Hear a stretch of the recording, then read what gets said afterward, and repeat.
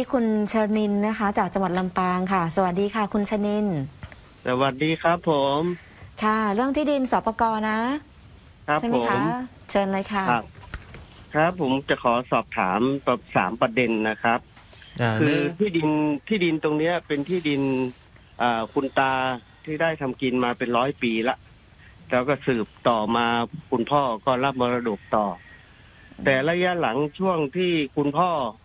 ทำกิน ก็ทางสปกหรือว่าที่กรมอนุรักษ์ป่าไม้เขาก็ไปตรวจรังวัดเนื้อที่ยี่สิบเอ็ดไร่ แต่เอ่อเขาจัดสรรหรือว่าเขารังวัดให้ได้เป็นเจ็ดไร่กว่า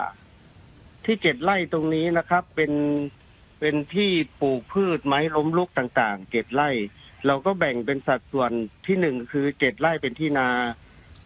อีกเจ็ดไร่เป็นที่เลี้ยงไก่บ่อปลาเลี้ยงเลี้ยงสัตว์ปลูกพืชเลื่อนลอยต่างๆ แต่ที่เราได้สปกสี่ขีดศูนย์หนึ่งตรงนี้ได้เฉพาะปลูกพืชไม้ล้มลุกครับ อืมและไม่ทราบว่าเอ่อณเวลานี้เนี่ยสปก4.01ตั้งแต่ปี62ไปยื่นทำเรื่องไว้ก็ยังไม่ได้ ไม่ได้ดำเนินการรังวัดให้ครับ ไม่ทราบว่า ทางจังหวัดเขาจะดำเนินการวัดให้ได้เมื่อไหร่นะครับ เดี๋ยวนะ เอ่อที่คุณยี่สิบเอ็ดไร่ ครับผมอยู่ในเขตป่าอนุรักษ์14ไร่ครับอยู่ในเขตป่าอนุรักษ์สิบสี่ไร่สปก7ไร่ครับสปกเจ็ดไร่ ครับอยู่ในเขตป่าอนุรักษ์สิบสี่ไร่เนี่ย อันนี้เราก็ทำกินอยู่เจ้าหน้าที่อนุรักษ์มาดังวัดให้แล้วใช่ไหมวัดวัดได้แล้วใช่ไหมแบ่งแปลงให้แล้วใช่ไหมก็ตอนนี้เขาแบ่งแปลงในเฉพาะส่วนที่ปลูกพืชไม้ล้มลุก ตัวนี้อะเจ็ดไร่ได้สปกแยกส่วนครับผมแยกส่วนในเขตป่าอนุรักษ์เนี่ยโอเค ไม่มีปัญหาคำถามถูกไหมเอ่อก็อยากสอบถามที่ป่าอนุรักษ์ที่เป็นที่นาที่บ่อปลาเลี้ยงไก่พวกเนี้ยเขายังไม่ได้จัดสรรให้อะครับ เอ่อแล้วเจ้าหน้าที่มารังวัดแปลงแล้วยังทำรูปแปลงแล้วยัง เขาเขายังไม่มารังวัดครับทำเรื่องไปปีหกสองตอนนี้ก็ยังไม่มาครับ ป่าอนุรักษ์นะ ยังไม่มา 14 ไร่นั้นนะ ครับผม โอเค รอไปครับ เพราะว่า มันจะมีปัญหาที่ดินในป่าอนุรักษ์เหล่านี้ประมาณ 4 ล้านไร่ทั้งประเทศ เมื่อวานเพิ่งคุยท่านจงคล้ายนะครับ ท่านรองปลัดกระทรวงทรัพยากรธรรมชาติและสิ่งแวดล้อมเรื่องนี้อยู่นะครับ อันนี้ก็ไม่มีปัญหาแล้วครับ ก็ทำหมากินไปได้ปกติหนึ่งก็ไม่ขับไล่ไปไหนทั้งสิ้นค่ะอยู่ในเขตป่าอนุรักษ์นะครับทำมาหากินได้ เดี๋ยวก็จะออกในรูปแบบของคณะกรรมการนโยบายที่ดินแห่งชาติอะไม่ได้กรรมสิทธิ์ยังไงก็ไม่ได้นะ โอเคไหมครับโอเคครัอ่าบ อ่าแล้ว เขาไม่ให้กรรมสิทธิ์แต่ให้อยู่ทำมาหากินได้ตกทอดได้ ไม่มีปัญหา 14ไร่นั้น เว้นเอาไว้ ส่วนครับส่วนที่อยู่นอกเขตอนุรักษ์อยู่เป็นพื้นที่สปกเจ็ดไร่เจ็ดครับ ไร่เราไปยื่นสปกมาทำการรังวัดแล้วหรือยัง ไปหรือยังผครัมบไปยื่นเรียบร้อยเนี่ยปีหกสองปีหกสามเขายังไม่มาวัดให้ครับ โอเค อยู่จังหวัดลำปาง ครับผม ผมเข้าใจได้ครับ คืออย่างนี้ครับพี่วันนี้ต้องพูดด้วยความเข้าใจว่า เจ้าหน้าที่สปกหน่วยรังวัดเนี่ยมีอยู่ไม่กี่คนนะครับ ทั้งจังหวัดเนี่ยผมก็จะว่ามีไม่เกินสิบคน และต้องรับผิดชอบที่ทั้งจังหวัดโอ้ไม่รู้เวลาไหนจะเวียนมาถึงเราค่ะคล้ายๆกับสำนักงานชที่ดินินนเลยชนินไปติดต่อสปกทำหนังสือไปพี่ เวลาพี่ไปต่อไปเนี้ยคุณผู้ชมทุกท่านครับทำเป็นรายลักษณ์เวลาติดต่อส่วนราชการเนี่ยนะเรื่องใด ๆ ก็ตามต่อไปนี้ ให้ทำเป็นหนังสือเขียนเป็นหนังสือ ยื่นซักถามเป็นหนังสือ ถ้าเราถามเป็นหนังสือเขาจะต้องตอบมาเป็นหนังสือครับ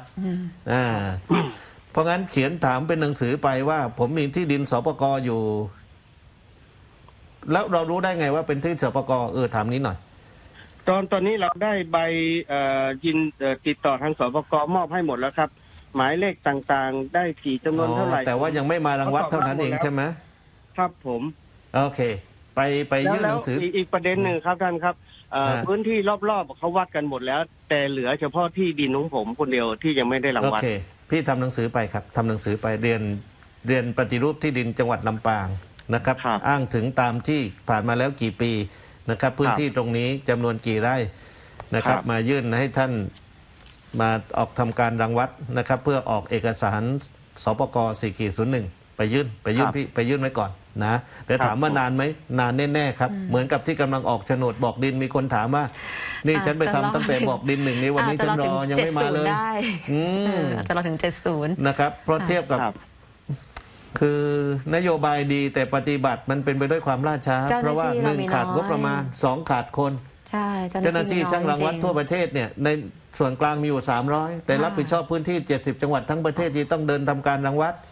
นะครับ แล้วสามก็คือ ได้งบประมาณมาน้อยมาก ถูกตัดงครับ บถูกตัดงบประมาณ ถึงไม่ตัดก็ได้น้อยน้องเออืมครับผม ไม่ถึงพอถึงได้มากก็ทำไม่ทันก็เพราะว่าคนไม่น้อยคเพราะนมันของน้อย ตัวเองมีคนน้อย ไปจ้างเอกชน ไปจ้างช่างสำรวจรังวัดอื่นมาทำการรังวัดได้ไหมไม่ได้ เพราะเขาไม่ใช่เจ้าพนักงานอ่าเห็นไหมค่ะมันปัญหาฎภาระหยมันจึงตกแก่พี่น้องประชาชน เพราะงั้นถ้าวันนี้ครับผมว่าทำกินได้ยังไม่มีปัญหาใด ๆ ก็ทำกินทำไปไปก่ก่ออนนครับพี่ครับพี่ชนินครับผมแล้วแล้วประเด็นนะที่สองครับ พอดีที่เราได้ได้รับจัดสรรสปกไปนะครับ เรามีต้นไม้ยืนต้นที่ในเขตที่เรารับผิดชอบหรือได้รับมอบหมาย ตัดไม่ได้เด้เราสามารถตัดไม่ได้เด้ตัดไม่ได้เด้ต้องได้รับอนุญาตจากสปกเด้ ครับครับอ่าที่เราจะไปไม้ล้อมรั้วเอาเอาไม้ไม้พวกนี้สงไปล้อมรั้วไม่ได้เลยใช่ไหมครับพี่จะตัดไม้อะไรอะที่พี่จะตัดอะ อืมไม้ที่เรามันอยู่ จะมาทำเป็นรั้วล้อมรั้วไม่ได้ทั้งนั้นเลยใช่ไหมครับโอ้ถ้าไม้ไผ่พี่ก็ตัดไปเถอะอ๋อพี่อย่าไปตัดไม้พยุงที่ไม้เต็งไม้รังไม้ที่สพูดงถึวนงนี่ไม้อะไรห้ามเอ่ย กี่ชนิดนะที่เขาห้ามอะ ไม้ที่เราคือถ้าปลูกอะครับถ้าพอดีไม้พยุงผปลูกไม้ไว้เด็กอะครับพี่พี่ฟังนะอ่าปลูกสักไม้เต็งไม้รังไม้พยุงไม้พวกเนี้ย หรือไม้สักก็แล้วแต่เนี่ย